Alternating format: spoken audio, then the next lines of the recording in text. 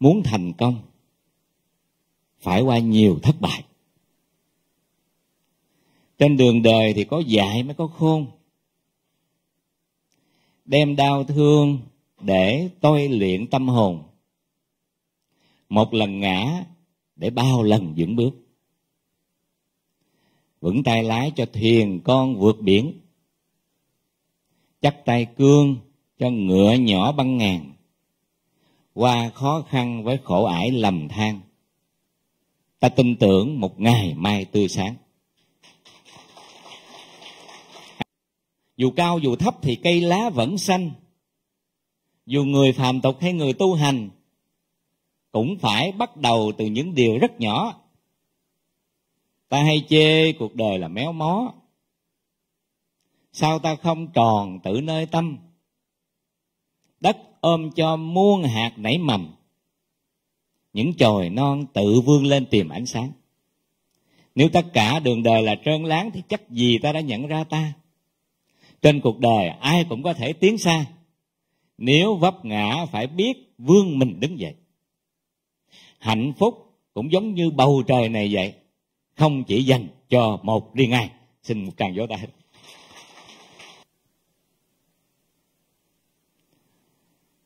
Vì chúng tôi thường hay nói rằng là vui vẻ thì khỏe liền nha, buồn phiền thì sanh bệnh, nhường nhịn thì bình an. Mà bi quan là tự sát. Chỉ có giải thoát mới tự do thiền to là sống cả. Vô ngã mới vô ưu, đa mu thì đa quán, đông bạn thì lắm phiền, nhiều tiền thì lắm bạc. Làm ác thì gặp ác, tự tác thì tự lo, gieo gió thì gặp bão, gian xảo thì đa nghi, từ bi là cõi phúc nhường nhịn một chút, sẽ thấy bình yên. Không có gì tự nhiên trên cuộc đời này cả. Đều là do nhân quả chính mình đã tạo ra. Nên đừng trách người ta, tự nhìn lại mình đã. Nếu tâm mình buông xả, hạnh phúc có đâu xa.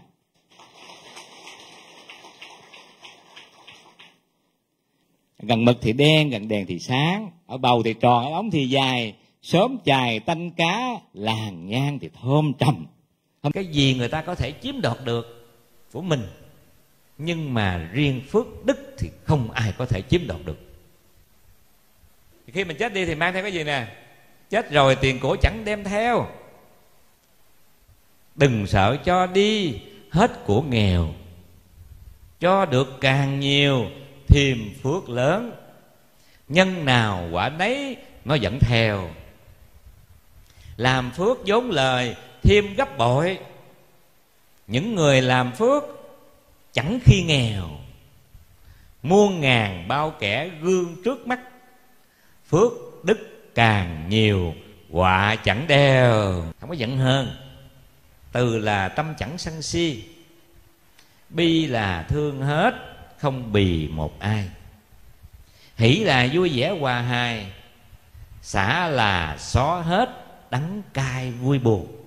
Là nghiệp duyên của của ai? Của mình. Kiếp trước có tu mới được giàu kiếp này sung sướng lại quên sao? Sống lo bòn chải tham nhiều quá. Chết có mang theo được chút nào. Kiếp trước không tu mới chịu nghèo. Kiếp này khổ não nó cứ đeo người ta răng rắc còn dư giả. Ngó lại phận mình túi vắng teo, thương nhau thì mau sửa tánh tình. Làm sao sớm giúp mọi loài chúng sinh. Không còn tham giận giam mình. Khi người hạnh phúc thì mình yên vui. Cái đó mới là người có trí.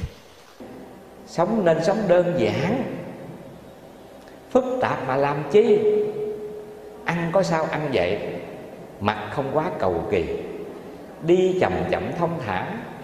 Nói chững chạc ít lời. Làm điều điều túc tắc. Chừa thời gian nghỉ ngơi.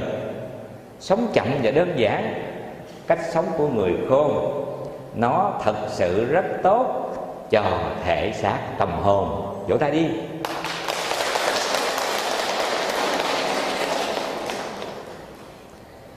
Từ đó trong cuộc sống này, chúng ta nên rút ra một cái bài học là cứ đơn giản những vấn đề phức tạp. Cuộc đời này thư thái, nhẹ nhàng hơn. Đừng phức tạp những vấn đề đơn giản. Hồn thơ ngay nào nhóm chuyện đau buồn. Mưa rồi nắng nắng mưa đời vẫn vậy. Tại lòng người, sống vậy mới đau thương nhìn dạng sự cuốn theo dòng trôi chảy, kìa vô u vẫn đẹp giữa vô thường. Đơn giản trong cuộc sống này, những thứ không thuộc về ta, mà lòng lại muốn đó là không nên.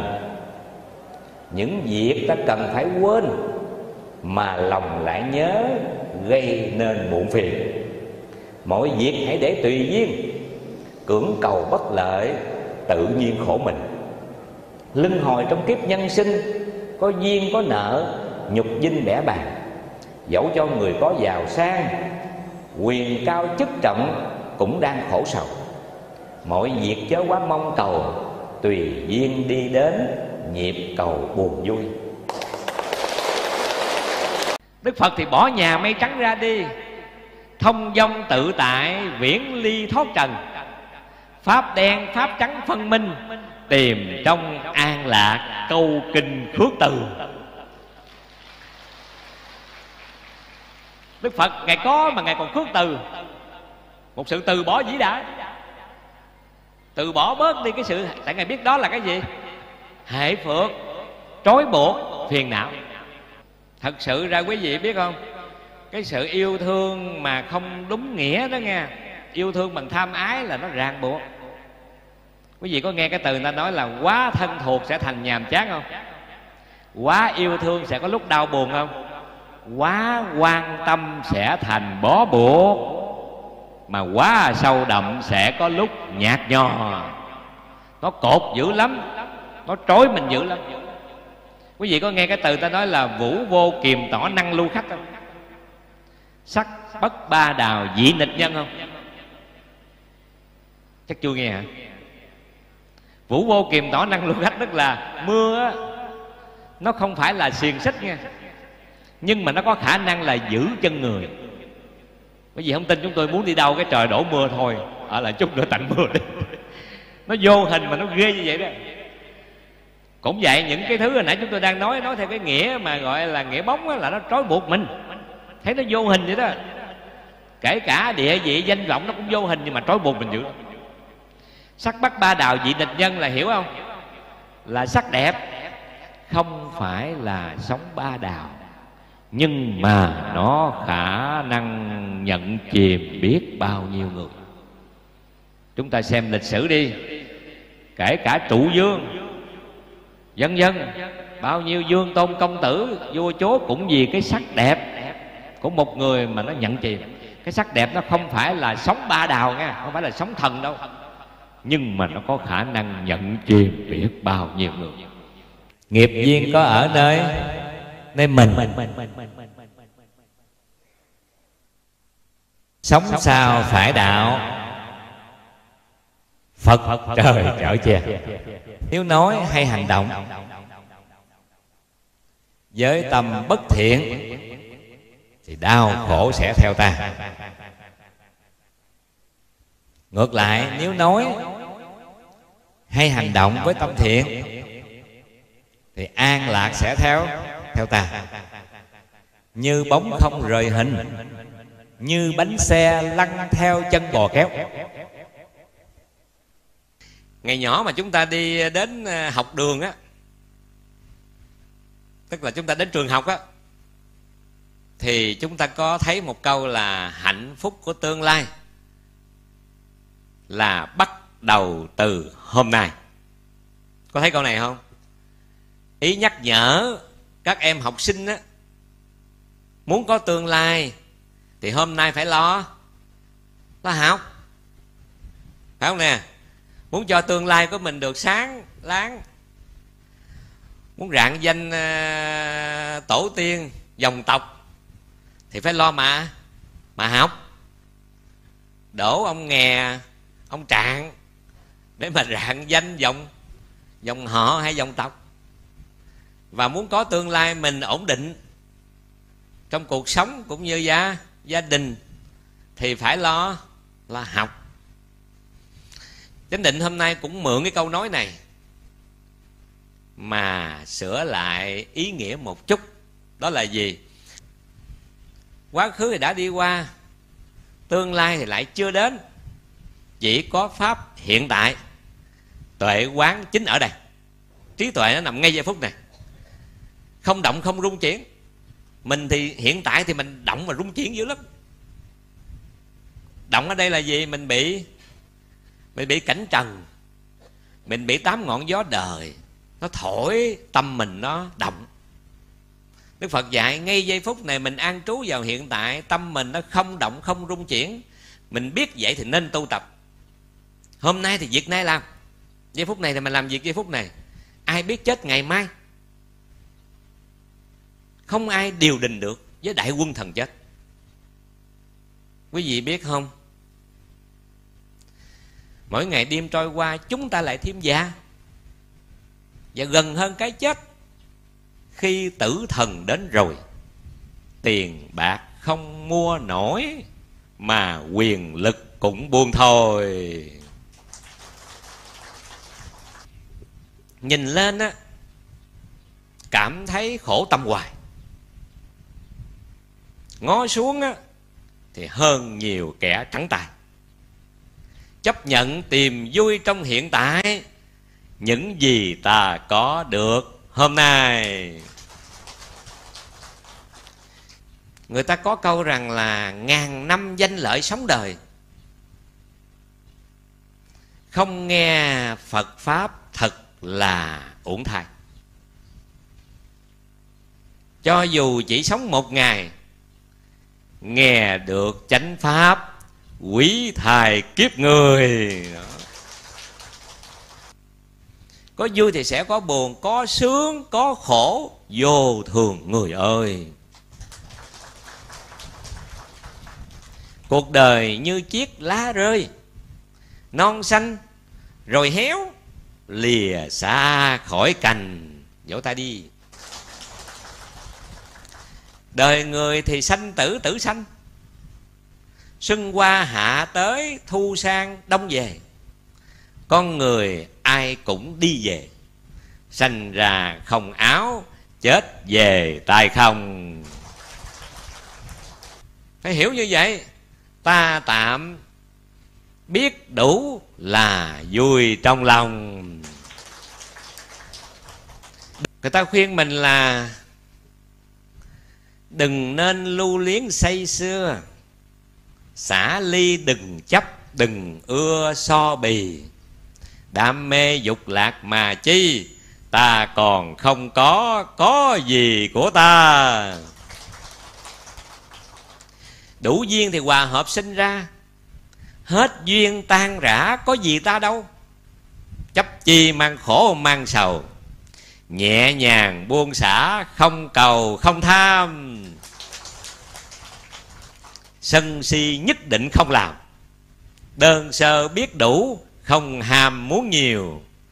Tiền tài vật chất những điều, nếu tham thì biết bao nhiêu cho vừa. Trời ơi.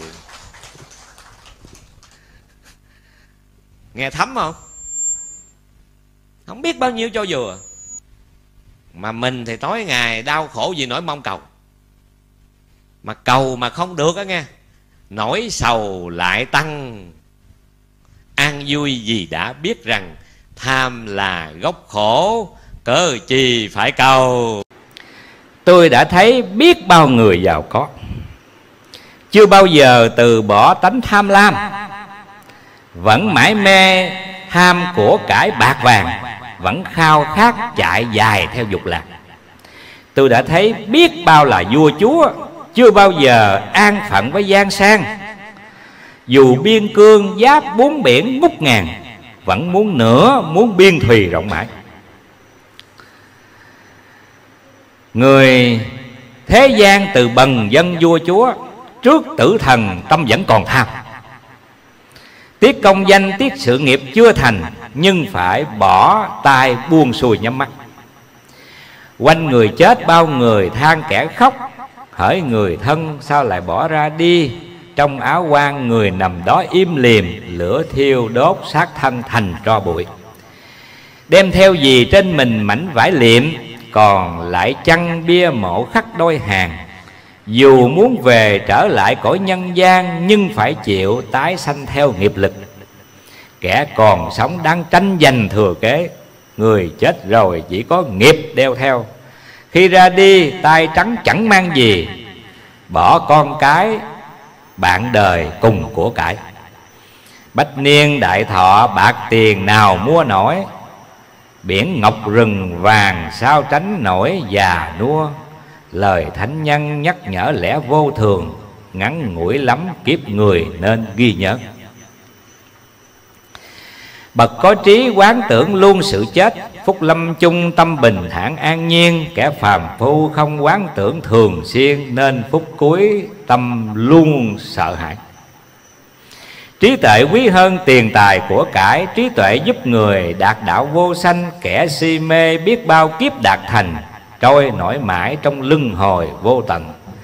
Từ bào thai người sanh về, kẻ khác Tiếp tục hành trình đi mãi không thôi, Còn vô minh nghiệp quả trói thân mình Hết sanh tử, tái sanh, vòng lẫn quẩn. Như kẻ cướp chịu lực đời phân xử, nghiệp chúng sanh, nghiệp nhân quả vô minh, để đời sau nghiệp cũ bước theo mình, trổ quả giữ người gây nghiệp ác. Dục lạc ngũ trần, vị ngọt thơm ngát, làm động lòng, làm sao xuyến tâm can. Thấy hiểm nguy trong vị ngọt ẩn tàng, làm tu sĩ tôi sống đời thanh thản kiếp người mong manh như cành cây đầy trái, gió rung cành trái xanh chín rụng rơi. Bởi hiểu thế tôi đắp y cạo tóc, làm tỳ kheo vui đạo sống thanh nhàn Phật dạy ông là ăn uống luôn tiết độ, sống trong sự tỉnh thức, dừng lại trước khi no già chậm tuổi thọ dài đời người những chuyến xe, người lên, người xuống, người về, người đi. Lúc hội ngộ, lúc phân ly, nụ cười, tiếng khóc có khi lặng buồn. Kẻ cùng đi xuống giữa đường gặp nhau, phút chốc vô thường chào nhau. Là biết đạo. Không buồn chuyện thế gian. Biết đủ không chi phải dội vàng từ bi hỷ xã thì lòng thanh thản. Mà nghe lời phật dạy sống an khang. Sự tu thì quý báu hơn vàng, giúp người vượt khỏi muôn ngàn khổ đau. Bạc vàng sẽ bị tiêu hao, tu hành phước đức chẳng bao giờ một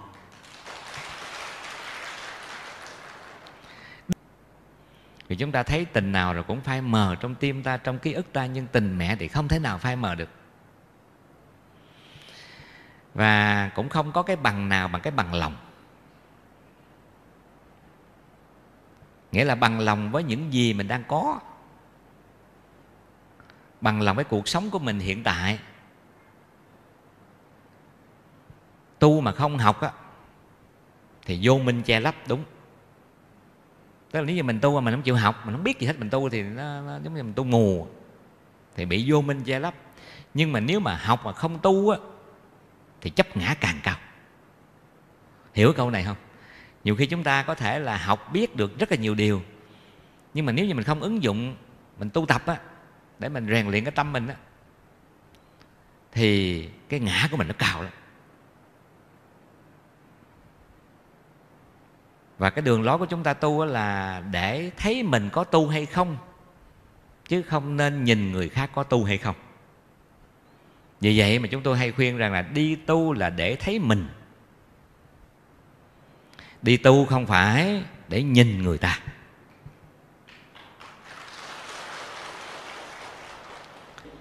Chư ác mạt tác, chúng thiện phụng hành, tự tịnh kỳ ý, thị chư phật giáo không làm các việc ác. Làm các việc lành.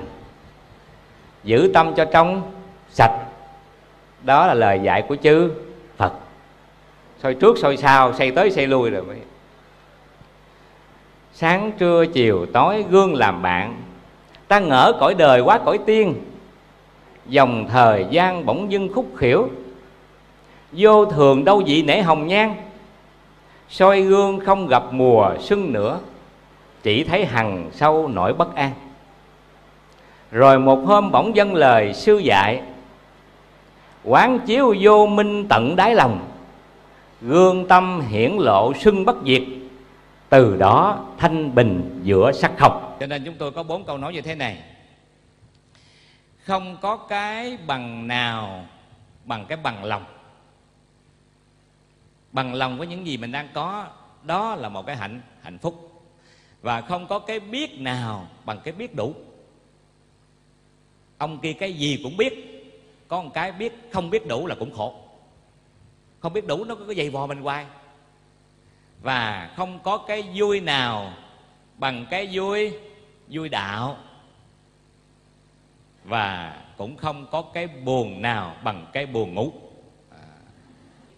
tình yêu đây không phải nói tình yêu nam nữ, mà tình yêu muôn loài. Chúng tôi yêu canh yêu cây, yêu kiển, yêu hoa, yêu lá, yêu tùm lum. Nhưng mà cái tình yêu đó, nếu không có đạo, là cũng khổ. Tình yêu hai tiếng ngọt lành, như trái cây chín trên cành nâng niu.